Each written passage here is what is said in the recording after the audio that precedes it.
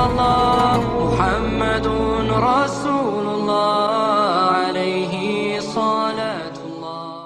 ഉഹദിന്റെ രണാങ്കളത്തിലേക്ക് യുദ്ധം ഇങ്ങനെ കഴിയുന്ന സമയത്തതാ ഒരു പെണ്ണാ സദസ്സിലേക്ക് കടന്നു വരികയാണ്.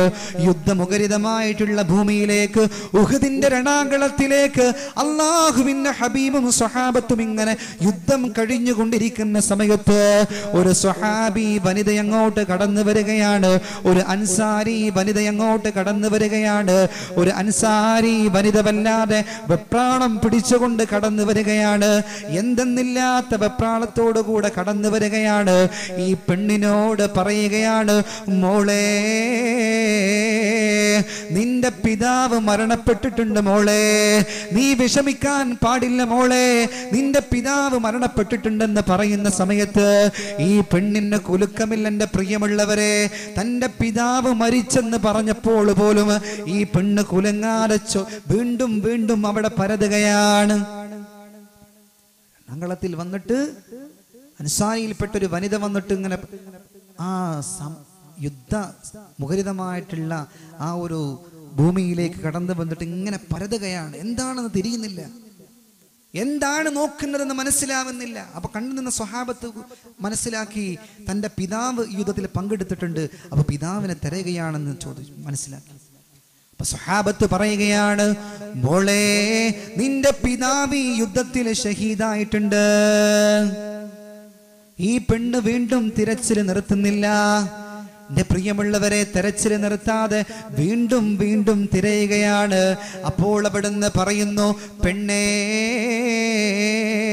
നീ നോക്കുന്നത് നിന്റെ ഭർത്താവിനെയാണെങ്കിൽ നിന്റെ ഭർത്താവ് ഉഹുദിന്റെ രണാങ്കളത്തിൽ ഷഹീദായിട്ടുണ്ട്. നീ നോക്കുന്നത് നിന്റെ മകനെയാണെങ്കിൽ നിന്റെ മകന് ഉഹുദിന്റെ രണാങ്കളത്തിൽ ഷഹീദായിട്ടുണ്ട്. ഈ കടന്നു വന്നിരിക്കുന്ന അൻസാരി പെണ്ണിന്റെ എല്ലാ കുടുംബക്കാരും പിതാവടങ്ങുന്ന സഹോദരനടങ്ങുന്ന തന്റെ മകനും ഭർത്താവും അടങ്ങുന്ന ആളുകൾ ഉഹുദ് യുദ്ധത്തിൽ ഷഹീദായി പോയിട്ടുണ്ട്. പക്ഷേ ഇവരെയൊന്നും കാണാതെ ഉഹുദിന്റെ രണാങ്കളത്തിൽ വീണ്ടും വീണ്ടും അവിടുന്ന് തെരഞ്ഞു നോക്കുകയാണ്. ആ സ്വഹാബി വനിത അവിടുന്ന് ചോദിക്കുകയാണ് ഐന റസൂലുള്ള എന്റെ ഹബീബ് എവിടെയാണ്? എന്റെ ഭർത്താവിനെ നോക്കുന്നതിനേക്കാൾ എന്റെ പിതാവിനെ നോക്കുന്നതിനേക്കാൾ എന്റെ മകനെ നോക്കുന്നതിനേക്കാൾ എനിക്ക് അതിനേക്കാൾ ആദ്യമായിട്ട് എനിക്ക് വേണ്ട അറിവ് ഏതാണെന്നറിയുമോ? ഈ യുദ്ധത്തിൽ പങ്കെടുത്ത ഒരു മനുഷ്യനുണ്ട്. ഈ യുദ്ധത്തിൽ പങ്കെടുത്ത ഒരു വ്യക്തിയുണ്ട്. ഞാൻ എന്റെ ജീവനേക്കാൾ സ്നേഹിക്കുന്ന എന്റെ കരളിന്റെ കഷ്ടമായ എന്റെ ഹൃദയമാകുന്ന മാണിക്യ കൊട്ടാരത്തിൽ താമസിക്കുന്ന ആ രാജകുമാരനെയാണ്. അത് മുത്തായ മുത്തു മുഹമ്മദ് മുസ്തഫ. സല്ലല്ലാഹു അലൈഹി വസല്ലമ തങ്ങളെയാണ്. ആ ഹബീബിനെ കുറിച്ചാണ് എനിക്കറിയേണ്ടത്. എന്റെ ഹബീബ് എവിടെയാണ്?